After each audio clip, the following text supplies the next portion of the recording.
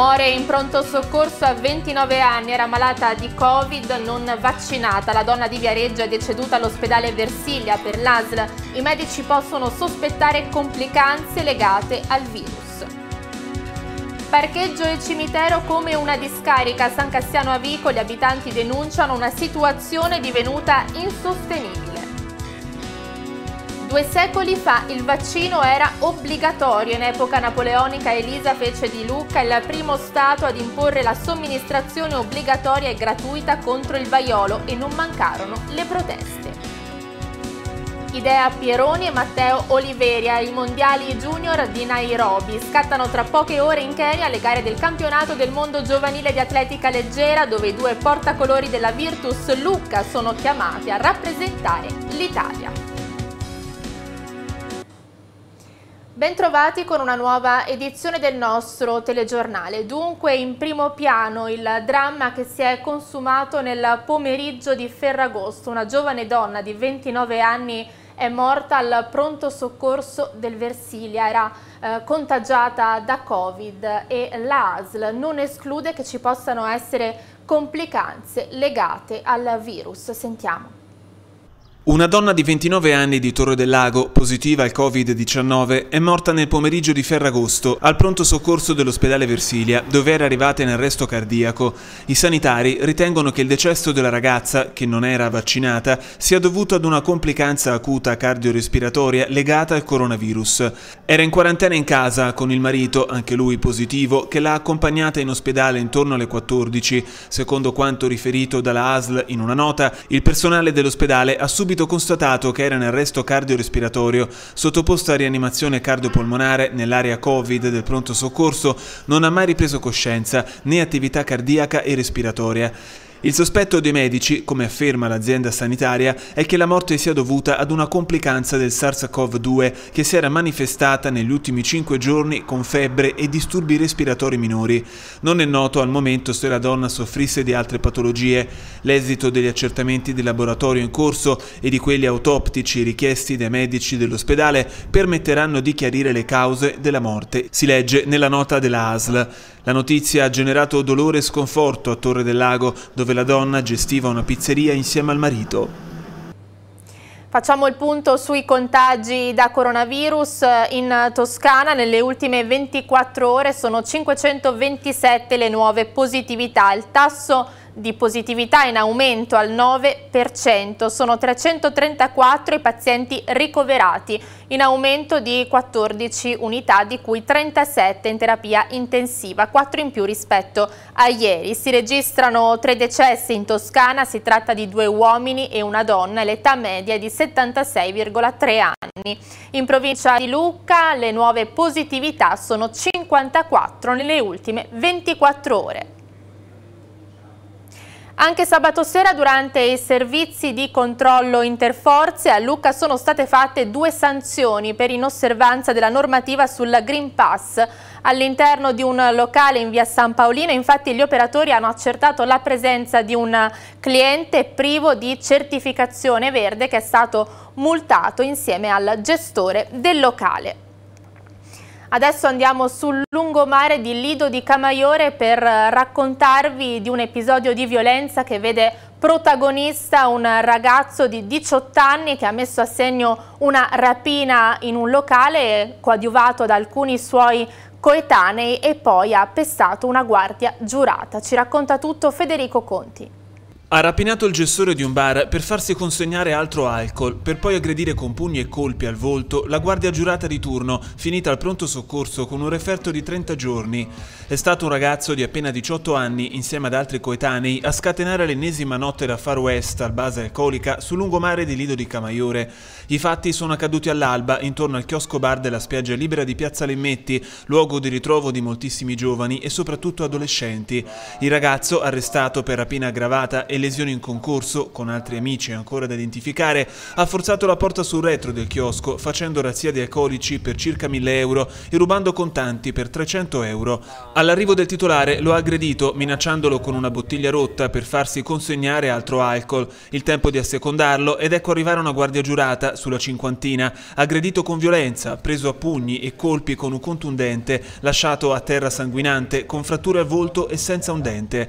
Arrivata la polizia, il diciottenne, di origini albanesi ma residente a Pistoia, è stato portato in carcere a Lucca. Le indagini proseguono per identificare i giovani complici. Nessun commento dai titolari del chiosco che oggi hanno affidato ad un cartello tutta l'amarezza e la rabbia per quanto accaduto, che è solo l'ultimo di una serie di episodi. Sabato mattina un quindicenne è stato ritrovato in coma etilico su quella spiaggia al vicino bagno a betone abbandonato dagli amici. Una situazione che esaspera non solo i residenti ma anche gli stessi esercenti della passeggiata, nonostante al Lido di Camaiore sia in vigore per tutta l'estate un'ordinanza che vieta la vendita di alcolici da sporto nei fine settimana. Come al solito zona calda, la gente beve e porta la roba da casa, bottiglie, non solo bere, c'è di tutto a giro. Non presidiano le forze dell'ordine, se le chiami quando arrivano sono già tardi, sono incasinati anche loro, sono un pochi. Richiediamo l'esercito il sabato sera, se no ci si fa. Ragazzettini che non sanno bere, non sanno divertirsi. Voltiamo decisamente pagina e torniamo a parlare dell'attentato in cava a Gorfigliano perché è arrivato un commento degli esponenti della Lega Elisa Montemagni, capogruppo in Consiglio regionale Riccardo Cavirani, commissario provinciale del Carroccio di Lucca in merito appunto al rogo doloso che ha distrutto quattro mezzi pesanti utilizzati per le attività estrattive all'interno della cava. È un atto ignobile, lo, dico, lo, definiscono così, siamo vicini agli imprenditori di Minucciano, vittime di un atto delinquenziale perpetrato all'interno di una cava che ha comportato un significativo danno economico.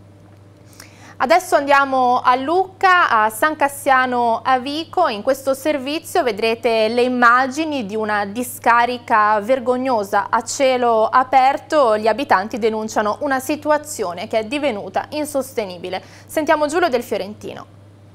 Una discarica a cielo aperto in piano centro. Il piazzale del campo di calcio come un centro di raccolta rifiuti.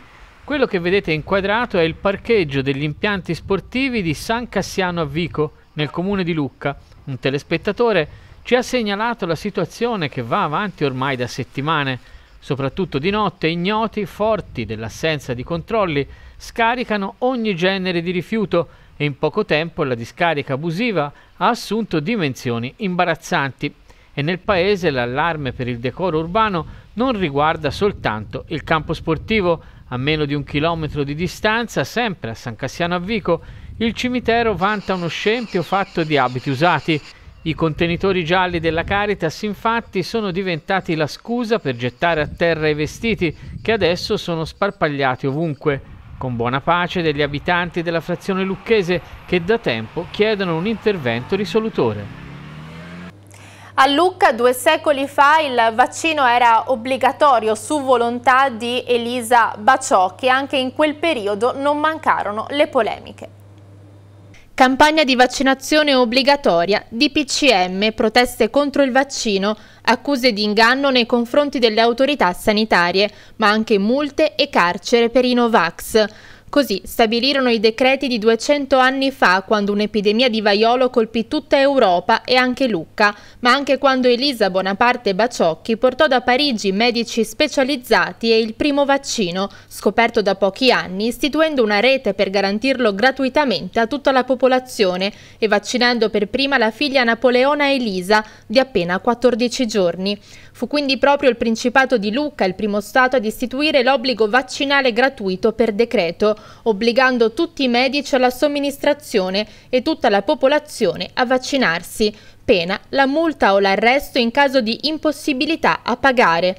Nel decreto emanato il 25 dicembre 1806 si definisce la scoperta del vaccino un dono che la provvidenza ha fatto all'umanità. A ricordare l'epidemia di vaiolo del 1806 è l'associazione Napoleone ed Elisa, da Parigi alla Toscana, che da anni si dedica allo studio e alla divulgazione della conoscenza delle tracce dei Napoleonidi in Toscana e in particolare alla figura di Elisa Bonaparte Baciocchi, sorella dell'imperatore e prima donna al governo di Lucca dopo quattro secoli di repubblica oligarchica. Le epidemie di vaiolo sono state frequenti con le loro migliaia di morti fino a tutto il XVIII secolo, spiega Roberta Martinelli, storica e presidente dell'associazione. Anche 200 anni fa non mancarono le polemiche, nonostante grazie ad un lungo percorso di vaccinazione su scala mondiale, oggi il vaiolo sia stato debellato. L'associazione, in occasione dell'anniversario della nascita di Napoleone il 15 agosto, ricorda i prossimi appuntamenti culturali. Il 23, 24 e 25 agosto al Real Collegio alle 21.30 con le serate napoleoniche e martedì 31 con lo spettacolo teatrale Erano tre sorelle. Ci spostiamo a Pietrasanta dopo una notte difficilissima, adesso l'incendio a Val di Castello è sotto controllo e i residenti sono pronti per rientrare nelle loro abitazioni.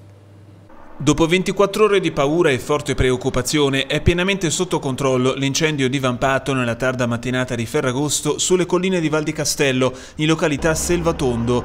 Le 10 persone evacuate nella notte di domenica in via precauzionale, fra cui due anziani e bambini, sono pronte a rientro nelle loro abitazioni, ormai messe in sicurezza.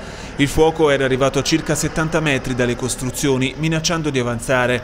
La situazione di pericolo è rientrata anche per le altre 10 persone residenti presenti sul fronte Capezzano Monte della collina, che mattinata erano state messe in preallerta per un'eventuale evacuazione. Grazie anche all'assenza quasi totale di vento, i vigili del fuoco, insieme alle squadre dell'antincendio boschivo della regione toscana e ai volontari, sono riusciti a circoscrivere le fiamme, isolando le zone incendiate della collina, dove sorgevano pini e olivi, e infine a domare il fuoco. Sul posto, oltre alla protezione civile comunale, per tutta la notte a seguire l'evolvere della situazione, l'assessore all'ambiente Tatiana Gleori superiori. Alle due e mezzo questa notte sono state evacuate più o meno 10 persone. Io sinceramente mi sento di ringraziarli, ringraziarli di cuore perché si sono comportati in maniera mh, eccellente, sono stati molto comprensivi e oltretutto una gran parte di loro sono stati con noi tutta la notte, quindi hanno potuto valutare in prima persona il valore veramente della protezione civile e dei vigili del fuoco che stanno facendo un lavoro enorme. L'incendio è probabilmente di natura dolosa e questo è un fatto molto grave, ha affermato il sindaco di Pietrasanta Alberto Giovannetti. Insomma, dietro la distruzione c'è la mano dell'uomo ancora una volta, come quasi certamente c'era all'origine del vasto incendio di sabato a Valpromaro, sulle colline di Camaiore. Tra gli evacuati per un giorno di Val di Castello anche l'ambasciatore del Marocco Julien Bruni. E fino a mezzanotte siamo stati qua, i vigili del fuoco hanno lavorato tantissimo, l'amministrazione col sindaco e gli assessori sono stati presenti più di 24 ore adesso senza interruzione. Il punto è che è partito quattro volte il fuoco in quattro giorni, dunque sembra che c'è un problema. No? Dobbiamo dare fiducia alle autorità competenti per fare il lavoro e trovare dove è il problema. La politica Coreglia Antelminelli ha un nuovo presidente del Consiglio Comunale, Ivo Carrari, fino alla scorsa settimana capogruppo di maggioranza ad essere stato eletto dopo la votazione unanime di mercoledì scorso, presidente del Consiglio, ruolo che ricoprirà mantenendo anche le deleghe al bilancio e alla progettazione europea. In giunta entra il capogruppo dell'opposizione ed ex candidato sindaco Giorgio Daniele che ricoprirà il ruolo appunto di vice sindaco al posto di Sabrina Santi. Rimaniamo in zona, nelle celebrazioni di San Rocco si è svolto il tradizionale bacio delle croci. Luca Galeotti. Per il secondo anno consecutivo il Comitato per i festeggiamenti di San Rocco in Turrite è riuscito a mantenere viva un'antichissima tradizione legata alla festa religiosa dedicata appunto a San Rocco. Messa all'aperto nel campo sportivo, processione religiosa con utilizzo della mascherina e come sempre la cosiddetta gazzarra che fa da colonna sonora al corteo. Nonostante il delicato momento che stiamo vivendo, anche quest'anno tanta gente ha partecipato a questo rito religioso. Dopo la Santa Messa celebrata da padre Francesco Petrillo e ben accompagnata dalla corale, si è formato il corteo che va ad incontrare la delegazione religiosa proveniente da Pescaglia. L'incontro è molto particolare in quanto si svolge nel luogo in cui, secondo la tradizione, morì l'ultimo ammalato di peste. Il morbo cessò e non si diffuse nella vallata. San Rocco protesse qui insomma la comunità dalla pestilenza, in quel punto le due croci parrocchiali si baciano. Con questo momento prende poi il via la processione per il tradizionale percorso intorno alla chiesa di San Rocco in Turrite. Dopo pochi minuti il primo cittadino di Pescaglia, Andrea Bonfanti, ha dato fuoco alla gazzata che grazie ad alcune migliaia di mortaretti ha fatto da cornice acustica la processione che è terminata davanti alla chiesa. La festa di San Rocco come ogni anno ha un significato estremamente importante per, eh, per il nostro comune e soprattutto per questa vallata. È un incontro di due comunità, un incontro di persone che nonostante la situazione legata alla pandemia, ovviamente rispettando quelle che sono le norme eh, anti-Covid, eh, ci tiene comunque a festeggiare, a fare la sua festa e a ricordare tra l'altro un episodio legato a una pandemia eh, avvenuta molti anni fa, quindi eh, la peste che qui si è fermata e ha risparmiato questa comunità e quindi di nuovo eh, come dire, una richiesta da parte di queste comunità di eh, provare a fermare eh, anche questa pandemia. Dopo le note del gruppo folclorico La Castellana di Nozzano Castello è stato il vicario generale dell'Arcidiocesi di Lucca, Monsignor Michelangelo Giannotti, a benedire tutti i presenti e soprattutto a chiedere la protezione di San Rocco affinché questa pandemia abbia fine il prima possibile. Cambiamo decisamente argomento. In Toscana in, inizia il rialzo delle assicurazioni ma i premi sono inferiori ai livelli pre-Covid. Di nuovo Giulio del Fiorentino.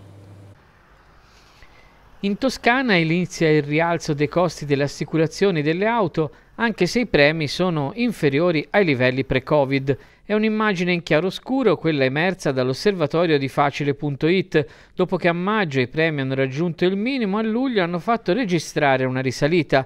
Oggi per assicurare un autoveicolo in Toscana occorrono in media 474 euro, lo 0,4% in più se confrontato con giugno. La buona notizia però è che i premi risultano ancora nettamente inferiori rispetto a un anno fa. Il dato emerge dall'analisi di un campione di oltre 620.000 preventivi e relative quotazioni raccolti nel corso dell'ultimo anno. La provincia toscana che ha visto scendere in misura maggiore il prezzo della Reci Auto è stata quella di Siena, dove lo scorso mese il premio medio era pari a 356 euro, il più basso registrato nella regione in termini di valore assoluto, in calo del 18% in 12 mesi. Seguono nella graduatoria regionale la provincia di Pistoia con il meno 18 su base anno e quella di Massa Carrara, diminuzione in linea con la media regionale per le province di Firenze e Prato, cali inferiori invece rispetto alla media per le province di Livorno, Pisa e Lucca, che fa segnare un calo del 12,48% con un premio medio di 467 euro. Lo stesso vale per Arezzo. Confrontando il costo medio della Reci Auto a luglio 2021 con quello di luglio 2020 emerge un dato interessante, il calo dei prezzi è stato registrato, seppur in misura differente, in tutta la Toscana con una diminuzione a doppia cifra in ogni area, ad eccezione di Grosseto. Ci fermiamo qui per questa prima parte, adesso breve break pubblicitario e poi la nostra pagina sportiva, tra poco.